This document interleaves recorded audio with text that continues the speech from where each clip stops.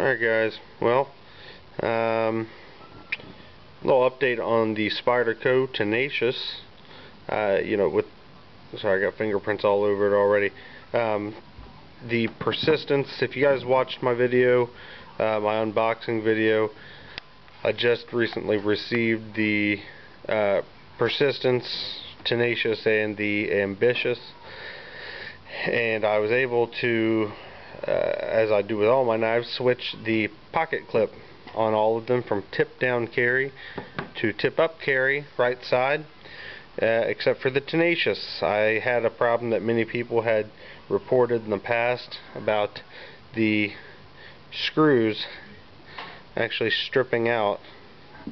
And uh, I don't know if you can I don't know if I can get that or not. I've been trying to work with this camera to figure out how to focus it but uh, I don't know. It seems to be doing a little bit better but not a whole lot.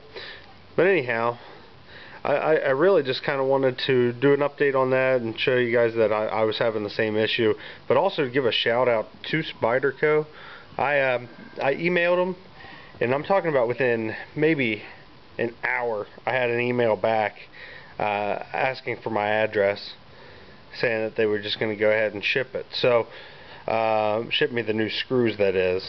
So uh, I mean that's pretty cool. I mean no proof of purchase needed no you know they didn't want me to ship it back or pay for shipping or anything. They're just gonna go ahead and send it on out uh, just based on my word that the uh, the screws were faulty. So uh, I, I, thought that was pretty cool and I wanted to give a shout out to them but uh, also to update you guys uh, as if anyone else needed to update the uh, the YouTube you know knife community on these screws. Everyone seems to know about them they it's been a reoccurring issue with a lot of uh, a lot of the people's knives not only with the tenacious line but uh, uh, with with a few of them so anyhow guys that's it. Short video. Just wanted to give a little update. Uh, alright well I will uh, be back shortly with another knife review for you. Thanks for watching guys